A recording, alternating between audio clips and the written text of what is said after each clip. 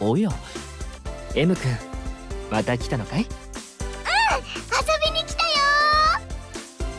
友達の家みたいな軽いノリで言ってるけど先生に見つかったら怒られるよ。でもここ友達の学校だよ、はあ、あんたに常識が通じると思った私がバカだった。まあまあねね。一人だけ学校も違うからねこれくらい許してあげようじゃないか。ねねちゃん。ななんか私がダダをこねてるみたいになってるの。ネネが来たらみんなでフェニックスワンダーランドに向かおうか。うん今日の練習も楽しみだな。とナチュラルに会話に入ってきているが。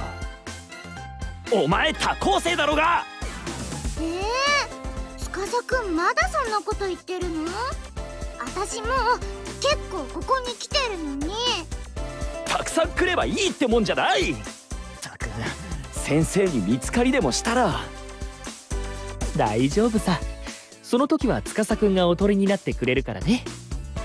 お前らな無茶ぶりはせめてステージの上だけにしろ。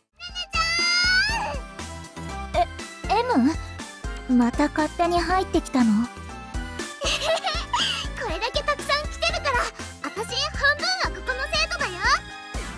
いやそんなわけないでしょ。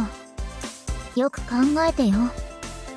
例えば司が宮女に何度も言ってたらどう思う？うーんさきちゃんを迎えに来たのかなって思う。あーそっか。だから私もねねちゃんたちを迎えに来たって言えばいいんだね。いや違うんだけど。ダメだ今のは完全に例えが悪かった。はあ授業めんどくさ。あれは？あ、えなさんだ！こんにちは！M ちゃん？ここ神校だよ？はい！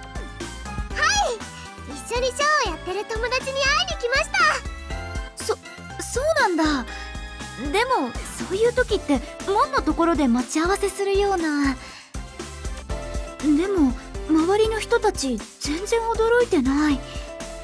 実は他にもよその学校の人がよく出入りしてるとか？ひなさんよかったらまた私たちのショーを見に来てくださいね。それでは。うん。って校舎の中にまで入っていっちゃった。けど誰も何も言わない？ってことは私の気にしすぎかな？